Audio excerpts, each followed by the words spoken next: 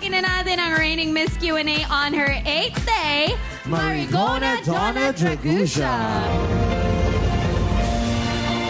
Hello, hello, hello! Happy Tuesday, madlang people. No words can describe the feeling in my heart when I woke up this morning. Your messages and support and even love are the medicine my body and soul need. Once again, I am Marigona Dona Dragusha, your reigning Miss Q&A for the seventh time na nagsasabing payat man ako sa inyong paningin, mataba naman ang aking puso na tiyak sa inyo'y magpapakilig. I love you all, and I thank you. Thank you. Ang ganda ng gown ni Dragusha. Oo. Good luck sa'yo, girl. Dumiretso na tayo sa final round. Ito ang Declamation! Isang tanong lang ang inyong sasagutin at mauuna kang sumagot candidate number 2, Princess Noriela Tombalilique. Oh. Ito si ano si Princess parang maraming alam na mga kasabihan, no? Hindi naman po, sakto lang. O di pasensya. Kala ko lang naman kasi. Ang no? Oo, Napaka, bagets. ano, Ilang taon ka na? bungis-ngis. 21 po. 21. Oo. 21. Next year, 22. Masayain kang tao, no? Yes. Yun naman talagang dapat. Totoo. Yes. Oo, pipilitin mong maging masaya. diba? Opo, Dapat- kahit yung hirap na hirap ka na. Ah, Pipilitin mo pa rin maging masaya. Yes. Oo. Okay. Eto na, ready na si Marigona Dragusha? oh, taray ng tayo niya. Eh, pak. Oh, pak. Oh. diba? Bibigyan ka namin ng 30 segundo para sagutin ang katanungan na ito. Ang tanong, kailan nagiging mali ang pag-ibig? Okay, I believe, ladies and gentlemen, kailanman hindi naging mali ang pag-ibig dahil alam naman nating mga kaibigan na ipinanganak tayo at sinilang tayo sa, sa mundong ito nang dahil sa pag-ibig.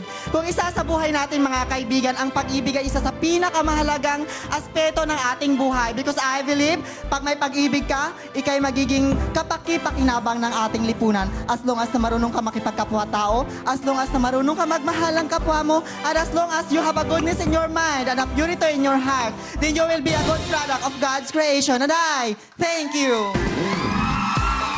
Thank you so much, Princess Noriela Tombalilique.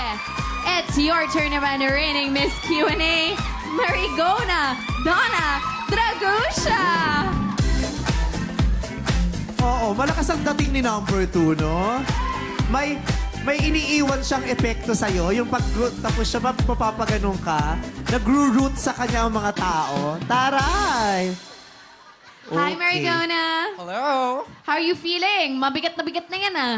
Yeah, balikan natin yung mga nakaraan. Talagang mabigat na siya. Pero the more it gets heavier, the more I'm being challenged, I'm gonna do my very best. Ah! Taray! Tignan mo nga naman. Iisipin nyo, no, paano niya nabibit-bit ang ganyang kalak- karami at kabigat na corona sa balikat niyang isang dangkal lang?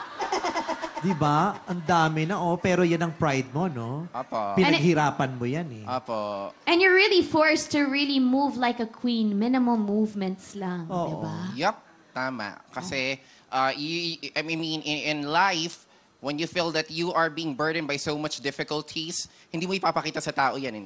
Instead, you have to show off your confidence. Diba? Ganun naman talaga sa buhay. Oo, oh, ganun talaga sa buhay. Naiintindihan ko na yung mga sinasabi mo. In life talaga, even if you're burdened, you'll have difficulties, you know, it's really actually a Oh, no. Yung mata Kasi- mo, girl. Ang hirap talaga. Pero tingnan mo, ang ganda pa. Nakakapag-isip pa siya ng tama, ah. Ang ganda pa ng flow of thoughts Kasi niya. distraction to eh. Distraction. Actually, yun yung ang purpose niyan. Kaya ka binibigyan ng maraming corona para ma-distract ka din sa pagsagot mo. Challenge yan. Kaya pag Yes. napag nalampasan nila, lalo mong kabibiliban talaga yung mga Miss- Miss Q&A. Woo!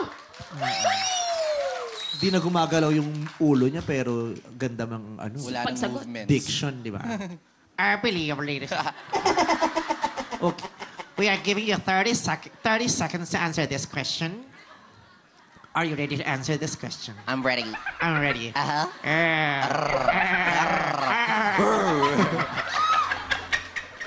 She's so pretty. Your question is, kailan nagiging mali ang pag-ibig? I believe na kailan nagiging mali ang pag-ibig kapag mali yung choices natin in life. When you love someone, you have to fight for it. That is the purpose. That is our will. Then that is our greater existence. Nagiging mali ang pag-ibig kung pinagpipilitan natin yung ating sarili sa isang bagay na alam natin ay mali. Pero kapag iniisip mo sa utak mo na pinaglalaban mo lang yung alam mong tama, yun ang pinakamasarap na uri ng pag-ibig. Kaya nga, God has given us the privilege to love someone who we are to fight for at the end of the day. Kasi yun yung pinakamasarap na pag-ibig na namin natin sa araw-araw. And I thank you. Ang ating reigning Miss Q&A, Marigona Donna Dragusha. Kapamilya, gusto mo bang mapanood ang masasayang ganap sa Miss Q&A sa It's Showtime? Subscribe na sa ABS-CBN Entertainment YouTube channel at pindutin lang ang i-button para sa iba pang videos.